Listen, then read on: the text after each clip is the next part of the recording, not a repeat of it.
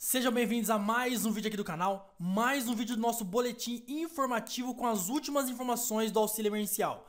No vídeo de hoje temos muitas notícias e informações novas dos bastidores dos deputados. A gente sabe que o auxílio emergencial foi aprovado no Senado e na próxima semana ele é a pauta principal da Câmara dos Deputados.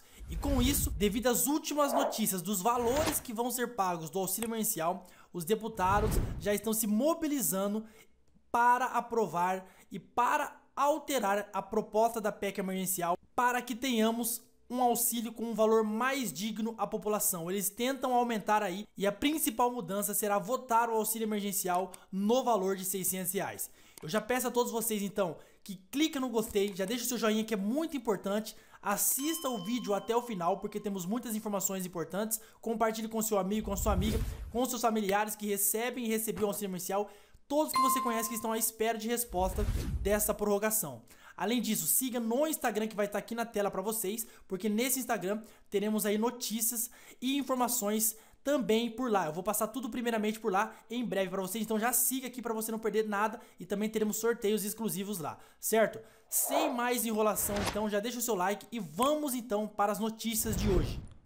Pessoal, Votação em segundo turno da PEC que vai permitir a volta do auxílio emergencial para os brasileiros, concluída aqui no Senado Federal e agora a briga é comigo. Agora a matéria vem para a Câmara na semana que vem. E olha, eu vou dizer para vocês com toda tranquilidade, nós vamos quebrar o pau, tá? Nós vamos quebrar o pau, claro que eu tô falando em sentido figurado, dentro dessa Câmara dos Deputados, vamos fazer o que for preciso nós vamos apresentar requerimento, nós vamos apresentar projeto, nós vamos usar da tribuna, nós vamos apresentar emenda, nós vamos apresentar destaque, nós vamos fazer movimento nas redes sociais, nós vamos conclamar um país inteiro.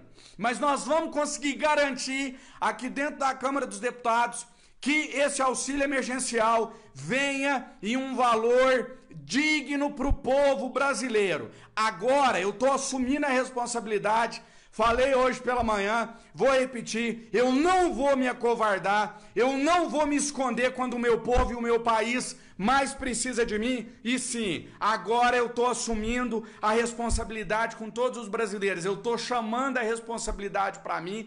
Eu estou é, é, me colocando à disposição agora sim, puxando toda essa responsabilidade. O Senado Federal fez a parte dele, agora o projeto vem para a Câmara dos Deputados e aqui dentro da Câmara dos Deputados nós vamos fazer valer a voz do povo brasileiro. Aqui dentro, quem manda é o povo. E o auxílio emergencial, com a força de Deus e de todos vocês, vai ser em um valor digno. Sim, o povo está impedido de trabalhar. E se o povo não pode trabalhar, nós temos que dar a eles dignidade para sobreviver a essa crise, a essa pandemia, com dignidade. Não acreditem que já há valor definido. Não acreditem no que a imprensa está tentando convencer vocês de que o auxílio vai ser de 100, de 150, de 200 reais, enfim. Nós, aqui dentro da Câmara dos Deputados, que representamos o povo brasileiro em quase sua totalidade, somos nós que vamos dar a palavra final. Disse, repita, a briga agora é conosco. Tá? Vou passar esse restante de semana trabalhando em Brasília, junto com a minha equipe, elaborando propostas, ideias, projetos. Vou usar da tribuna quantas vezes preciso for, vou fazer valer a voz do povo brasileiro e eu tenho fé que nós vamos conseguir mudar o destino dessa história aqui dentro do plenário da Câmara dos Deputados. Vou me debruçar na matéria nesse final de semana para na segunda-feira, aí sim, entrar em campo e a guerra, a luta em nome de todos vocês. Estamos juntos até o final. Que Deus nos abençoe. Batalha encerrada no Senado Federal. Agora inicia-se a grande e derradeira batalha no plenário da Câmara dos Deputados. E eu estou pronto para a guerra. Tamo junto. Bom, visto aí essa live do deputado André Janones, ele diz que a luta agora é com eles, a luta agora é no, na Câmara dos Deputados e eles vão lutar para ampliar esse valor tão medíocre que o governo quer pagar para as famílias. A gente sabe que esse valor é muito baixo, principalmente para quem mora sozinho que vai receber 150 reais e tem mais. Não é só ele, hein? Vamos ver agora então aqui, acompanhe comigo na tela, o tanto de deputados que já estão se mobilizando para tentar a aprovação em 600 reais.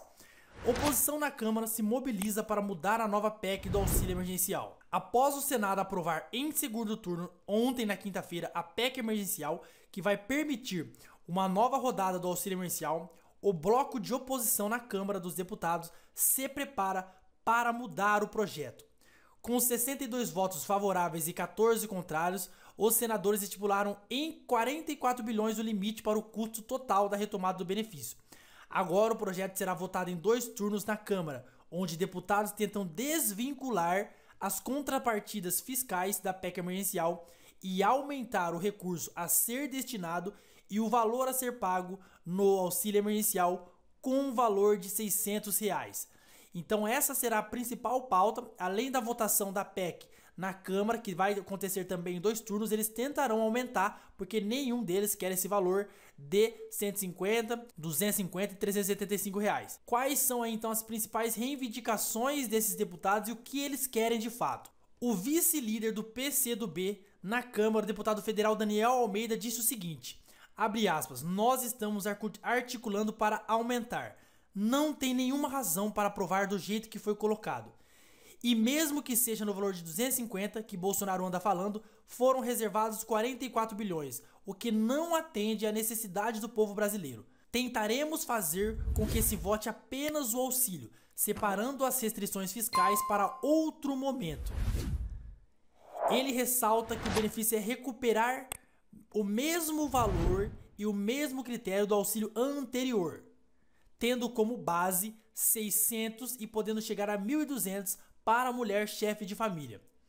A deputada Lícia da Mata classificou como inaceitável a proposta apresentada pelo governo federal para o pagamento da nova rodada do auxílio emergencial com valores entre 150 e 375, sendo o mais alto para os casos da mulher com filhos nos moldes que ocorreu em 2020. Ela defendeu os 600 reais e lembra que esse número é baseado no valor médio das cestas básicas, então, como a gente viu aí, 150 reais, dependendo do estado, você malemar vai comprar um botijão de gás e não vai sobrar mais nada.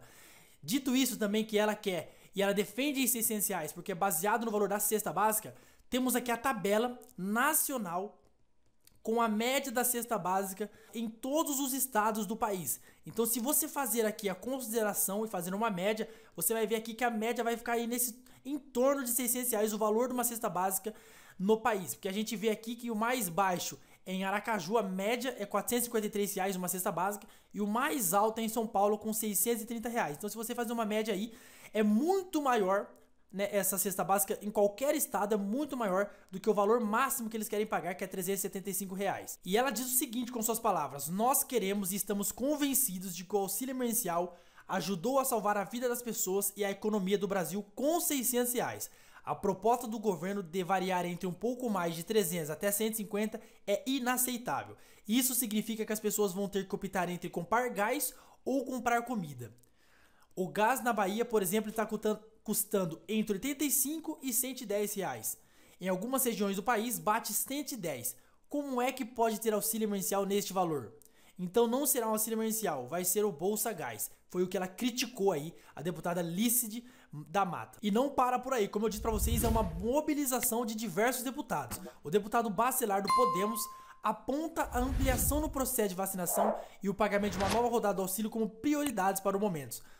Nós precisamos do auxílio, ele é fundamental para manter o tecido sem, sem ruptura e a economia de pé.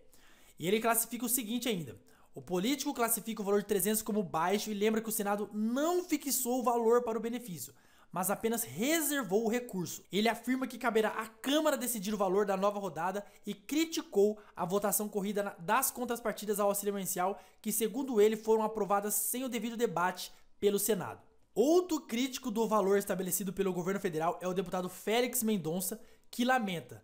Ele diz o seguinte com suas palavras: não dá para nada.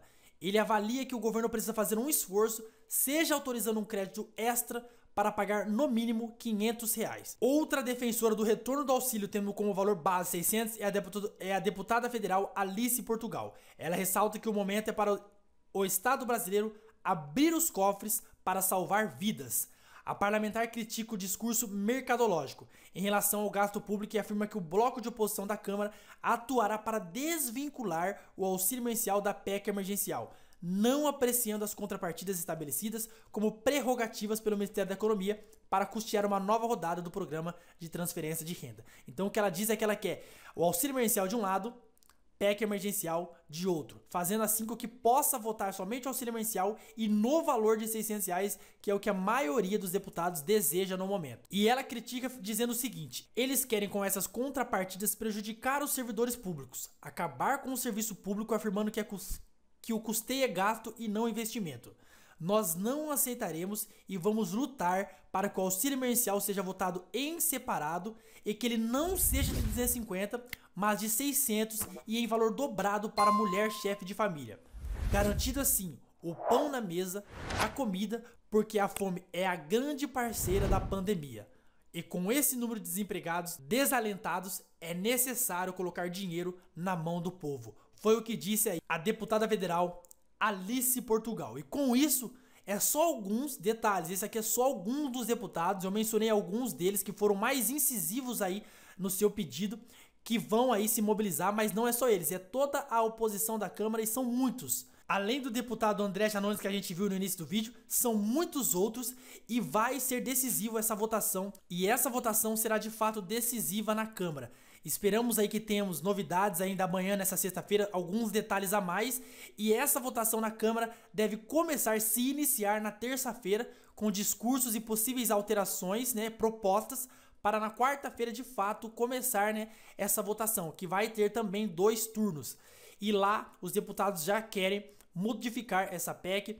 Alguns querem separar a PEC do auxílio emergencial, votarem separado, mas a grande maioria deles querem esses 600 reais. Essa é a nova luta da Câmara para modificar esses valores tão absurdos e medíocres que o governo quer pagar para toda a população no momento mais grave da pandemia no país desde o início aí no ano passado. Então vamos aguardar mais notícias. Comente abaixo já o que você achou dessas informações e o que você espera que aconteça na próxima semana. O seu comentário é muito importante. Eu vou dar um like em todos os comentários e um coraçãozinho demonstrando que eu tô lendo todos os comentários sem exceções. Já clica no gostei também para ajudar o YouTube a divulgar os vídeos. E não se esqueça de compartilhar com seu amigo, com a sua amiga, aquele grupo de WhatsApp que você tem dos seus amigos, familiares e afins. Continue acompanhando as notícias, estamos momentos Estamos vivendo agora os momentos finais decisivos e nesse momento não é legal que você perca nenhuma informação. Então ative o sininho de notificações também, fique ligado no canal e nos vemos a qualquer momento com mais um vídeo. Um grande abraço a todos, com muita fé e esperança eu me despeço de vocês. Uma boa sexta-feira e um bom final de semana a todos e nos vemos no próximo vídeo.